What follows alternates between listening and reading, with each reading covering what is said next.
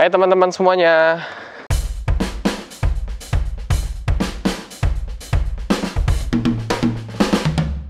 Jadi kita hari ini mau ke rumahnya Kang Thomas Gigi. Dia adalah seorang basis favorit gue di Indonesia ini. Pengen banget gue dari dulu tuh dapat kesempatan main sama Kang Samot. Gue manggilnya Kang Samot. Kang Samot itu panggilan kesayangan. Cie. Jadi gue pengen banget sebenarnya dapat kesempatan main sama Kang Samot, tapi belum ada dan sampai akhirnya pandemi. Jadi kayaknya kesempatan manggung bareng sama Kang Samot itu sirna. Tapi akhirnya gue telepon Kang Samot dan akhirnya kita bikin konten bareng hari ini. Ya, thank you YouTube. Akhirnya bisa memfasilitasi gue untuk ketemu sama musisi-musisi favorit gue dan bisa memberikan pengalaman untuk ngeband bareng. Oke, kita cut dulu videonya dan kita langsung aja on the way ke rumahnya Mas Thomas Gigi.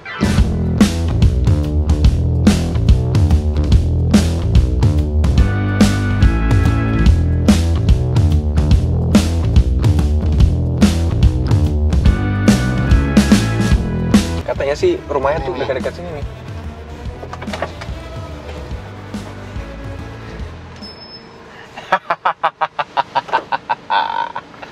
Selamat sore. Sama ya? Hah? Gemuk Naik berapa kilo? tujuh bang. Gak apa-apa, biar low-nya ada. Pokoknya ada jobnya kurang. Low-nya ada banyak, jobnya nggak ada. Kebanyakan biasa loncat. Yuklah. Selamat datang. Datang selamat. Hari ini ternyata apa ya? Bukan diundang, maksudnya kalau diundang datang, datang. datang, datang, Datang. kedatangan tamu, Eh, drummer kesukaan gua. Eh, mainnya apa ya? Groovy. Saja. Eh, eh, eh, banyak genre yang dimainin waktu itu gua ketemunya itu kalau nggak ya? salah bentar pertama banget tuh pas ada community bass sebetulnya betul lah Lama banget itu. bener kan Iya, bener. ya itu Ada Fajar Fajar, Mas Ivan, iya so- Om Indro, Eh, Kang Samot. eh. Terus siapa Eh, lagi ya? iya, Yuke. Yu- Iya, Kang Yuke. terus ngejam kan Ngejam. kan ya dari situ abis itu terus ketemu lagi di Di mana eh, lagi Rolling ya? Stone Rolling Stones tuh acara apaan? acaranya Indro deh kalau nggak salah. Oh iya iya iya iya. iya. Ya dari situ Eh, ngejam ngejam ya itulah di situ aja sebetulnya ngejam Habis itu kita ketemu lagi di Instagram. Instagram ya. Ah, jadi terima kasih banget buat Instagram. Ini bass kesayangan atau gimana nih, Kang?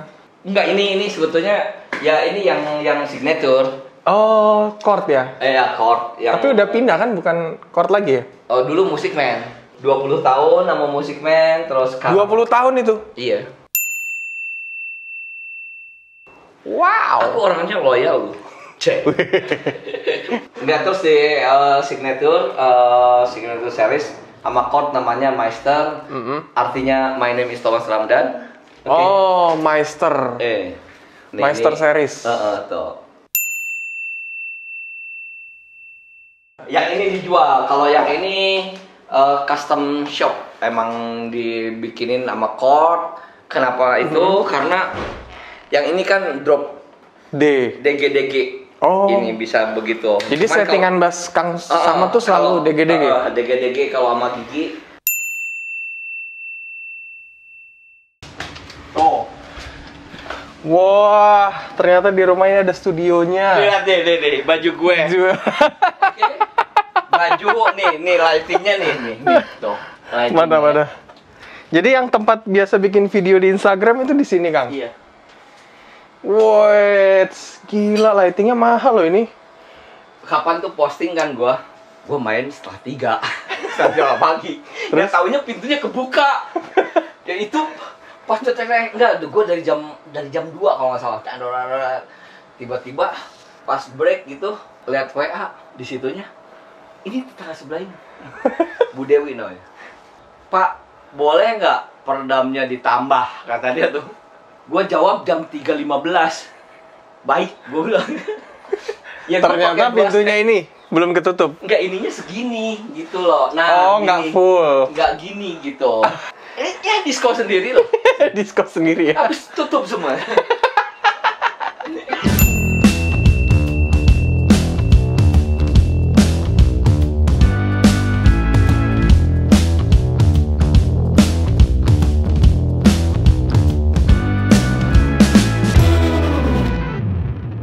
Oke, jadi studio dadakan di rumahnya Kang Samot sudah kita setting. Bisa dilihat, ini dia penampakannya ya. Dia ini. Oke. Maaf loh Kang, agak Apa diberantakin dikit rumahnya. Pokoknya uj- oh, ntar beresin lagi. Kang Ayub siap ya?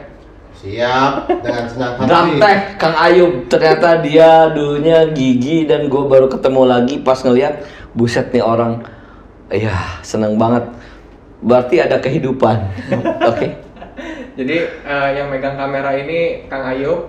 Dia dulu sempat kerja di Gigi ya kan? I- iya lama lama dia Kang, Cep. aku punya pertanyaan. jangan aku lah gue lu aja Oh gitu ya? iya nggak mau Kan aku lebih. oh ya ilah sok muda lu buat gue tuh kadang gue lu itu oh, kita nggak ada batas untuk menyampaikan sesuatu gitu Oke. seperti itu jadi bukan berarti kita nggak sopan ke orang yang lebih tua gitu gue lebih tua dari lu kayak gitu bukan itu sih sebetulnya buat Kang, tapi gue tuh penasaran deh seputar tentang drum nih Kang. Kan basis tuh deket banget ya sama drum ya. Pernah nggak kepikiran Kang Samot belajar drum? nggak nggak nggak sama sekali Kenapa? Dulu itu nggak sorry banget. Emang main musik zaman pas muda itu kalau untuk yang namanya sebuah peralatan drum itu kan mahal Iya. maksudnya. Jadi nggak mungkin dipunyai sama temen-temen gue main. Ngerti ya maksudnya playground gue tuh nggak begitu gitu. Jadi terlalu mahal buat gue untuk eh, kalau gue memilih drum. Dan mungkin juga eh, semuanya yang di keluarga di Bandung itu semuanya bersifat string lah maksudnya yang gitar gitar. yang emang kala itu emang umum banget kan Eh, gitar akan lebih banyak dari dari drum gitu Tapi siapa drummer favorit selain Yo Iqbal? Oke. kamu ini kamu sponsor. Saya. Eh, apa? Indonesia nih. Kalau dari Gigi, dari Gigi, Gigi kan banyak drummernya. Enggak kalau gigi itu gua nggak bisa ya. Kalau gigi buat gua apa ya? Gigi Semuanya- itu buat gua kan gua selalu posting kalau tiap posting gua berfoto sama mereka yang bertiga nih. Hah? Gue selalu bilang ini istri-istri gue. Antara Hendy ke Ronald, Ronald ke Budi itu nggak bisa kita samain atau hanya memandang dari sebuah skill gitu. Oke. Karena mereka emang udah pernah membuat sesuatu sama gigi. Ronald eh, apa ya? Yang gua tahu ya signature banget kalau untuk Fill fill in. Yes. Kayak lagu janji, tak dung dung deg. Orang anak lo yang baru 2 tahun suruh fill in yang Ronald itu bisa. Bisa. Tapi pas dia bikin itu kita nggak kepikir. Budi, Ya. oke Budi, tararara terbang. Gua kalau nggak fill in gitu Hendy ini sekarang pas sama Hendy, gua nggak nggak akan jreng gitu. Oh gitu ya? Iya, maksudnya appreciate banget ke hal-hal yang seperti itu sebetulnya kalau buat gue. Ya Hendy apalagi yang sekarang sebetulnya umurnya lebih dari Ronald dan Budi di gigi itu 15 tahun. Kalau kalian dengar yang Hendy main itu banyak banget gitu yang yang signature dari dia yang dituangkan di gigi kamu tuh. Jadi gue nggak bisa memilih bahwa ini the best, yang ini enggak nggak bisa gue. Tapi kalau di luar Gigi punya banyak dong. Kalau gue ngelihat band itu pasti drummernya dulu. Oh ya? Ya, nah buat gue itu drummer itu adalah fondasi gitu, fondasi. Ya. Duk duk trak, duk duk trak. Kalau lu rubah jadi duk duk tak duk duk duk tak duk duk itu bukan lagu itu Signature ya itu ya. iya nggak maksudnya jadi konstruksi banget kau buat gue iya, Se- betul. oh, drummer itu Tapi tau nggak Kang? apa tuh Makanan drummer itu apa tau nggak? makanan drummer itu stick gratis eh Jaila oke eh, stick gratis eh Basis kulit- juga gratis tuh yang sebelah. Enggak tapi perjuangan saya dua tahun ini Eh, enggak kalau drummer apa ya makanan enggak tapi alhamdulillah gue tuh punya drummer kalau kalau satu kamar gue yang lebih badung Tapi selalu satu kamar sama. ya, iya satu kamar satu kamar Oh ya? iya Makanannya sama nggak? Enggak, dia tuh kan eh, dia nggak makan nasi gitu.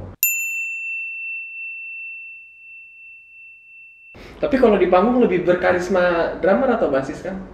Waduh, Waduh. kalau gitu gimana yang natap? gitu ya. kalau dia natapnya ke drummer, Iya, iya, berarti gua harus halangin dia karena dia nggak bisa pindah. Iya nggak? gue berdiri dong. I- oh iya berdiri, gua halangin. Tapi kalau dari ketiga drummer gigi nih Kang, Hmm.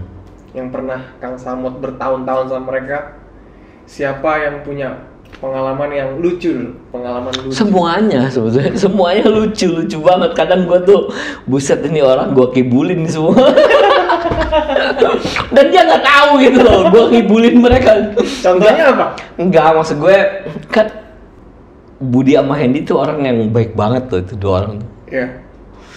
Ronald baik gitu, tapi pernah melakukan kejahatan bareng. Cailah. kalau Ronald, kalau ini dua orang ini baik banget ya. Baik banget. Buset Baik deh. dalam arti nggak Semuanya. mencewek ya, Enggak, dia nggak pernah alkoholik. enggak. Oh iya. Enggak Budi ngebir lah kayak gitu. Kalau Hendy tuh setetes aja enggak dia. Nemu orang kayak gitu di zaman sekarang gila menurut gue sih. Maaf ya, bukan narsis band yang gede gitu seperti itu. Dan dia tidak memanfaatkan kebesaran bandnya kayak gitu. Insya Allah, Insya Allah ya. Kita kan nggak tahu kehidupan orang yang tiba-tiba berubah besok lusa kayak gitu. Iya, gua alhamdulillah punya temen-temen di gigi itu yang seperti itu. Iya. Kecuali Kecuali gue. kecuali. Enggak, gue susah diatur loh. Tadi tuh lihat sesuatu nih di rumah lu, Hmm. banyak banget sepatu. Itu sepatu lu emang koleksi.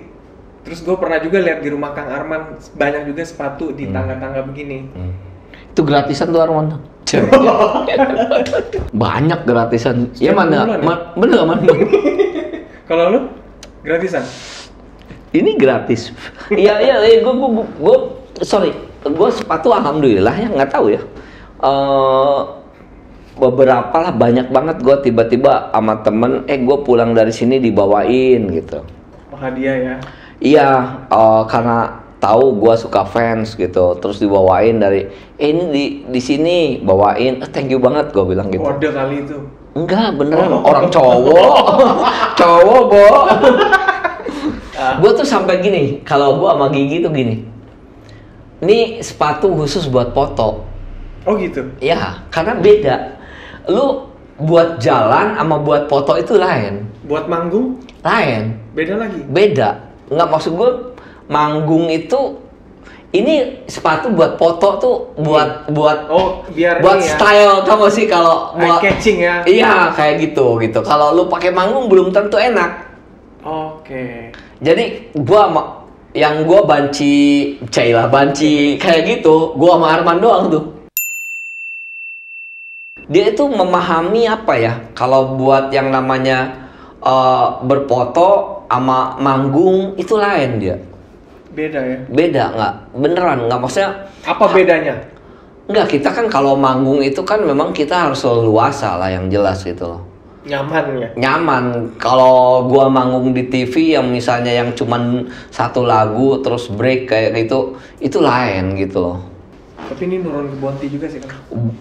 Itu justru Bonti tuh bisa beli sepatu 10 juta, gua kaget. Bong, lu ngapain? Nih, nih, nih, nih, nih, dari Bonti, benar, benar. Nih, nih. Tahu nggak? Nggak. sepatunya. Nggak gue, ini, sepatu ini. Jadi gue tuh kadang, gue tuh kasihan ke mereka ya. Eh, Ini buat sebelum menikah nih Bonti nih, Ya. sebelum menikah. Mereka patungan, adik kakak nih, Hmm. anak King sama Bonti. Kan gue manggilnya yang satu bongbong, yang satu king king. Ya. Adiknya king king, ini bongbong. Nih tuh, king, ini bong. Dia patungan beli ini loh, buat gue. Tahu nggak apa dia bilang? Biar bapak manggungnya semangat. Kan ke Jepang nih gue jalan, pas ngeliat anjing harganya segini kan. Berapa ini Kang? Enggak, enggak pas gua lihat di Jepang 13 juta sekian kan. Iya. Terus gua nanya, "Lu dari mana lu udah ngerampok lu?" Terus dia tulisin ini king, ini bom. Ngerti gak sih? Buat gua itu apa ya sesuatu yang Hmm, mungkin orang-orang kaya di Indonesia nggak bakalan dapetin ini. Iya. Ngerti gak sih? Berharga ya buat Wah sama. Banget banget maksud gue bukannya bangga dengan harga yang 13 juta atau ya katanya sekarang mahal banget 20-an sekarang kayak gitu bukan itunya sebetulnya tapi apa ya atensi yang dia kasih itu nggak didapat semua orang gue tuh sampai sampai bingung gue nggak pernah ngasih uang jajan soalnya kan nggak sih Iya iya iya. iya. Terus lu duit dari mana lu beli segini? Itu beneran gua. Itu ini mau lebaran nih. Ini dari dari King sama Bong Bong kan. buset gua bilang. Sampai gua tuh buset. Wah, makasih banget gua bilang kayak gitu. Sebuah perjalanan buat Bonti mungkin walaupun Bonti sebetulnya mencari banyak hal dari diri sendiri kayak gitu dan gue juga sering lihat Instagramnya apa kayak gitu memang ya ya dia lah gitu Yes, udah nggak ada lagi hubungan sama gue gitu Iya. buat gue sih dia bisa hidup dengan apa yang dia pilih itu udah bagus banget iya nggak sih Benar-benar. Itu jadi kayak goals buat bapak ya. iya secara nggak langsung itu eh ngerasain lah main musik di Indonesia kayak apa sih Benar. sebetulnya Benar. Ya segitu struggle-nya, segitu fight-nya ya. Iya, hanya berapa coba dari seribu orang paling bisa survive itu berapa? Ya nggak? Tapi Gigi bisa bertahan sampai selama ini ya hebat banget kan. Karena nggak ada pilihan partai. Kalau gua masuk partai gua kaya. Iya. Gue, gue, gue, gue sorry. Kenapa gua ngomong banyak banget? Gue sendiri di sini tuh kan. Jadi kalau ada temen ngobrol, gua ngobrol. Iya loh. Gue pikir Kang Samo kan rumahnya gede banget gitu. Masa gede banget dari iya, Hongkong. gede banget terus habis itu ternyata dia ini mandiri banget. Nggak gue nyuci nyuci nggak hanya maksudnya nyuci piring apa kayak gitu gue sendirilah kalau Sendiri kan. sendiri Ngepel. ngepel gue Ini, ini soalnya jarang ada, mungkin nggak ada orang yang tahu. Iya nggak gue ngepel sendiri maksudnya kalau kalau untuk apa ya ya ngepel juga kan jarang orang masuk kan Ya. Ya paling kalau gua kotor-kotor gua habis nonton TV ngerokok kayak gitu. Kalau basah sandal kayak gitu baru pel kayak gitu. Kalau enggak ngapain juga. Semua ini titipan ya Allah, sih. Buset.